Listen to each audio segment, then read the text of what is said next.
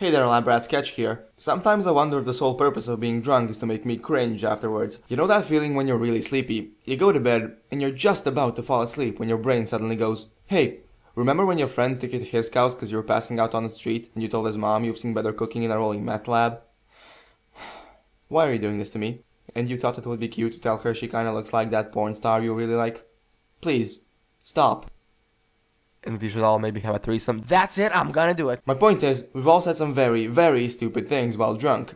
Stupid, but honest. After all, in wine is the truth. But why is this? Why does alcohol make you blab things? And are there any other, more potent substances that can be used as an actual truth serum? If you watch spy movies, you might have heard of a substance called sodium pentothal, a trademark for sodium thiopental.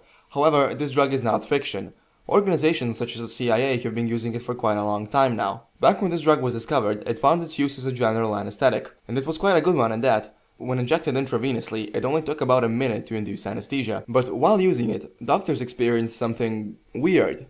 In that small time gap between the drug's injection and complete anesthesia, patients often blab things. And not any things, private things, Things that seemed like they wanted to get off their chest for a while now, but just weren't able to. Psychiatrists soon started experimenting with this, and lo and behold, a truth serum was born. There was something about this drug that made people completely lose their inhibitions. They also found that it was quite useful for interrogation, because formulating lies was near impossible at the correct dose. Now the question is, how does it do that?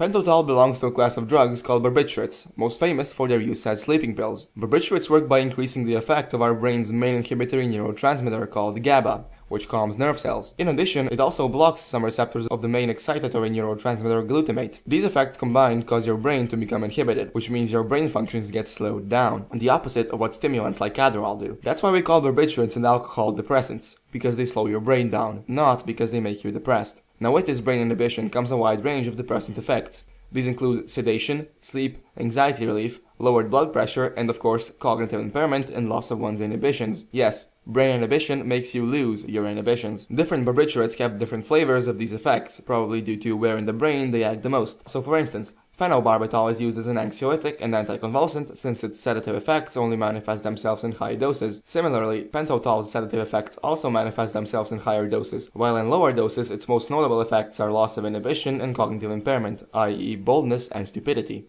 This leaves the subject in a sort of hypnosis, a state where they are neither awake nor asleep. So the loss of inhibition, a much stronger one than that of alcohol, results in a compulsion to say things that are bothering the subject. But what if you don't want to hear something that's bothering them? What if you want to extract information that isn't important to them, but they are just told to keep a secret, like what's the password to a computer? Well, this is where the cognitive impairment sets in. You will ask them for the info you want, they will be unable to lie to you.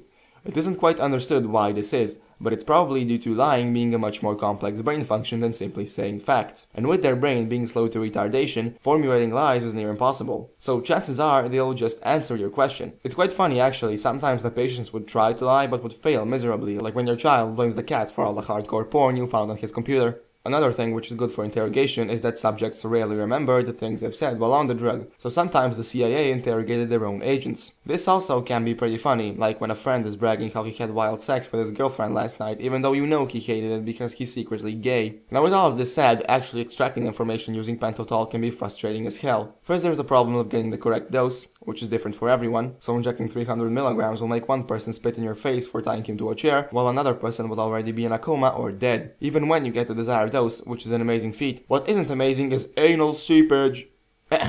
Excuse me.